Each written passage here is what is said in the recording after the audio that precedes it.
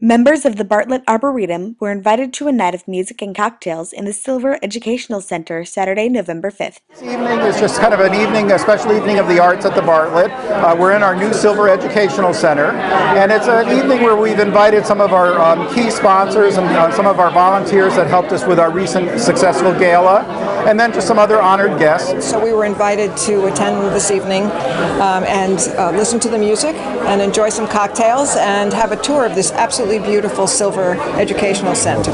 We must have about 60 or 75 people here, and we have beautiful cocktail party, hors d'oeuvres, and it's a beautiful night out there, and everybody's happy.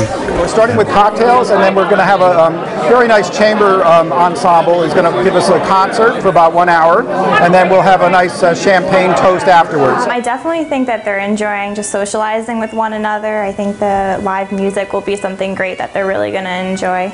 Uh, well, we've taken a tour of the building and we're enjoying some cocktails and meeting a number of our neighbors and friends from Stamford. I think the Arboretum definitely uh, needs to continue doing events like these. I think people enjoy them. They enjoy socializing and networking and just getting to you know be with one another. It exposes the uh, more of the community to the wonderful things that Bartlett has to offer. I think these events are important where people can come and, and uh, we can get exposure to the community. They can go back to their friends and their families and their organizations and tell them about the nice things things they've seen at the Bartlett and hopefully feel welcome here as part of our family to use the facilities and to come back and visit many times. And the food is excellent, the wine is excellent, and the company is excellent. It's just our way of saying thank you to a bunch of our key supporters.